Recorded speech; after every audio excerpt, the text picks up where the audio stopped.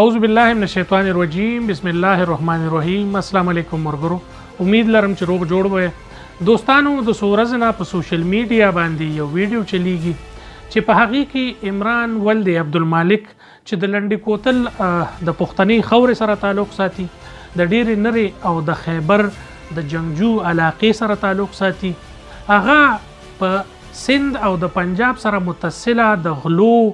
او د زرداریانو او د نورو وډیره ګانو په سرپرستۍ کې چې کومه اډې چلیږي او په هغې کې کم پریزنر کم خلک نیولی شوي وي د پیسو دپاره د غلا دپاره او چا چې دوه روپۍ ګټلې وي نو هلته خلک ونیسي او بیا هغه خلکو نه کروړونه روپۍ غوښتل کیږي د چا وس وي د چا نه وي نو بیا هغې خاندان دپاره مختلف قسم ویډیوګانې رالیږي چې په هغې کې په هغې باندې بدترین تشدد کیږي د دې نه مخکې د تنګي یو د ټرک ډرایور چې د هغه هم څه دغه قسم له واقعه وه او هغه هم راغوښتی شوی و چې په هغې کې هغه هلک نیولی شوی و او په هغې کې بیا مختلف خلکو کردار ادا کړلو او هغه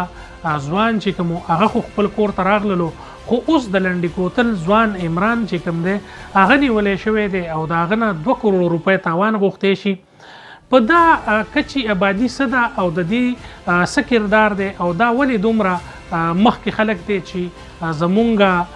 سیکورټی پورسز زمونږ پولیس والا هم دغه ځای ته نشی رسیدی او دی باندی دغه قسم لا ظالمان او غلط خلک دالته پاتی کیږی چی د هغی نه دین شته نه اسلام شته او نه د دین او د اسلام نه خبر دی خو بس یو مسلمان اونیسی او په هغی باندی دونه بدترین تشدد کوي دومره بدترین هغوی باندې دغه کوي او د دې نه سیوا هغوی سره چې کله دا خبرې د هغوی ونه منلی شي نو بیا هغوی سره بدکاریانې هم کوي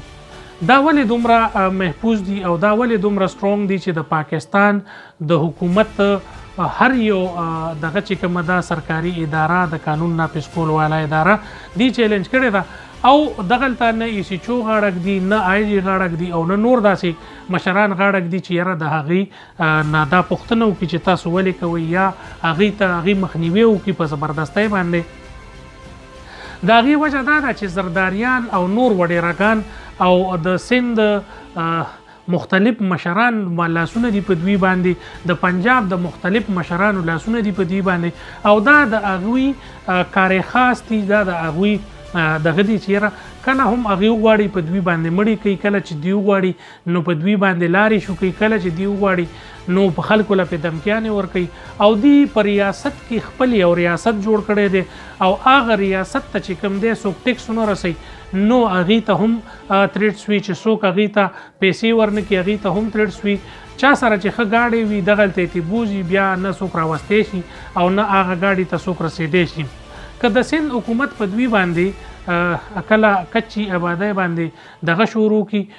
کچی په علاقه باندی اپریشن شروع کی نو دوی پنجاب ته وړي که پنجاب او سند دواړه په دوی باندی اپریشن شروع کی نو دوی بیا بلوچستان ته وړي دا یو ځنګلی علاقه ده چې په دې ځنګلو کې دا خلک ساتي او دوی سره دغه قسم له ظلمونه شروع وي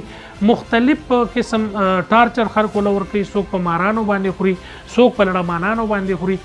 زه صرف د به حیثیت یو قبایلی دا خبره کوم چې کم از کم اول خو دی حکومت را پاس یو دا خلک دی کنټرول کی او که حکومت دا خلک نشي کنټرول کوله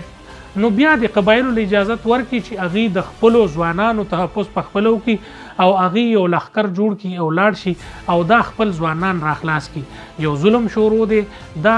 کس چې کوم دی دا د غریب پلار زوی دی دا دې خلکو تښتولی دی او ده باندې هلته بدترین تشدد کیږي ده باندې چې کم تشدد شروع دی دا په زناورو باندې هم څوک نه کوي تمام د خیبر قبایلو ته زما دا خواست دی نډر دي بې باکه دي ځوانان دي هغوی سره مټور دي پښتانه دي او دا ټول قبایل تاسو را پاسي او خپل یو کردار ادا کوي په دې کې او د دې ظالمانو نه دا بیچاره دا غریب ځوان چې کم دی دا را خلاص کوي او تاسو په هغه کې داسې یو کردار ادا کوي شاجی ګل پریدي صاحب د نور داسې ایوب افریدی فیملی دا دا ټول تاسو را پاسئ او دا ځوان را خلاص کړئ په هغه باندې ډېر بدترین ظلم شروع دی او د دې ظلم اواز د پاره زه ما دا وسته چې ویډیو جوړه کم ما دا وسته چې زه تاسو ته आवाज اوچت کم او ان شاء الله زه کوشش کوم چې داغي کور ته داغي خاندان ته هم ځان ورسوم زه د هغوی مشرانو سره هم کینم او زه په دې باندې تاسو پردر اپډیټ کم چې را اوس هغه څه کردار ادا کوي داغي یو ورور په سند کې موجود دی چې د هغوی هیڅ قسم لا فریاد څوک نه اوري نه یې پولیس اوري نه یې آرمي اوري نه یې نور قانون نافذ کول ادارې هغوی اورېدل غواړي او نه هغوی سره په دې خبره کې کیني بس صرف دا خبره هغوی ته کیږي چې ورشئ او پیسې ورکړئ خپل ورور راخلاص کړئ هغه ډېر ظالمان او خطرناک خلک دی پاکستان چې حکومت غواړي سند وزیر اعلی غواړي نو په دې باندې هر قسم لا اپریشن کې دی شي دا ډرون چې پاکستان جوړ کړي دا هلیکاپټر چې جوړ کړي دا نور جهازونه چې جوړ کړي دي په قبایلو باندې خو تاسو هر قسم لا اسلحه چې کومه ده استعمال کړله په قبایلو باندې خو تاسو چې کوم دی هلیکاپټر هم استعمال کړی په قبایلو خو تاسو چې کوم دی اف 16 هم استعمال کړه نو ولې د کچي آبادی دا خلک چې کوم د کچي خلک چې کوم دي دا ولې څه خلک ته یا د دی چې کوم دی په لمنه باندې مونږ کیږي خو دام ظالمان دي هماغه خلکو غونته چې کوم په قبایلو کې موجود وو او تاسو خلکو ته ښودل چې دا هغه ظالمان دي نن هغه ظالمان چې کوم دي راپاسېدلي دي تاسو هم په جیزونو باندې قبایل وژنئ او هغه خلک هم راپاسي قبایل چې کوم دي نیولي دي او د هغې روټۍ چې کومه ده د هغې د خولې نه شوکۍ ورته وایي چې مونږ له پیسې راکوي تمام مرګرو ته تمامو پښتنو ته تمامو قبایلو ته دا سوال دی دا آواز دی چې راپورته شئ، یو شئ، یو موټی شئ او د خپل حق تپوس وکړئ، د خپلو ځوانانو تپوس وکړئ، نن په عمران ولد عبدالمالک باندې ده، سبا به په ما وي، بل سبا به ستا په ورور وي، بل سبا به په بل ورور وي، دا صرف زمونږ د سوشل میډیا اکټیویست شانام خان یا د نورو داسې مشرانو کار نه دی په دې کې به ټول پښتانه راپاسو کردار به ادا کوو نو اله به دا کېږي شادام خان یو ځوان راوستلو ورسره نور مشران لاړل او اوس چې کوم دی د نورو پښتنو دا غدي شاجي ګل پردي سیب لطیفه پردي کورنۍ نور داسې مشران کشران د دې ټول راپاسي او په دې کې کردار ادا کی او د خلکو ته کې په کردار ته ورسي او کني چې ټوپک راوالو او ټول قبایل په قبایلی رسوماتو باندې لاړ شي او د کچې د خلکو نه د خپل حقوقو تپوس وکړي شي ان شاء الله دې حواله سره به تاسو سره زه بیا هم حاضرېږم بیا هم حاضرېږم تاسو ما سره اوسئ ډېره مننه خوشاله او آباد اوسئ السلام علیکم